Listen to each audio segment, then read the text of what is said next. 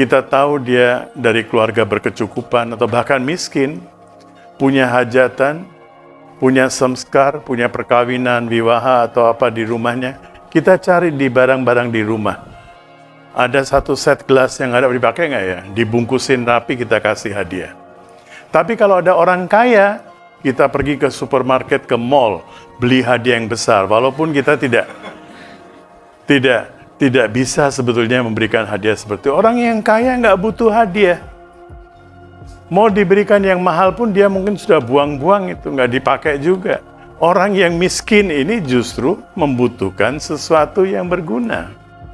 Jangan diberikan gelas 6 biji saya dulu sering sekali ketemu dengan orang-orang miskin dan mereka nggak tahu mau apakan. Setiap orang memberikan hadiah 6 gelas.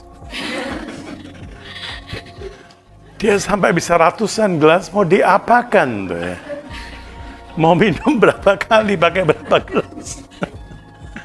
Tapi kalau orang kaya, diberikan kipas. Nah ini, dia nggak butuh kipas, di rumahnya sudah ada AC. Mau diapakan juga. Memberikan hadiah pun harus tepat. Jangan memberikan hadiah yang tidak berguna.